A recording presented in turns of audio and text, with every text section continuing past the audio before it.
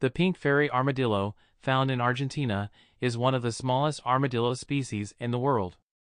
It has a soft, pink shell that it can bury itself into to escape predators and uses its long, sticky tongue to catch insects.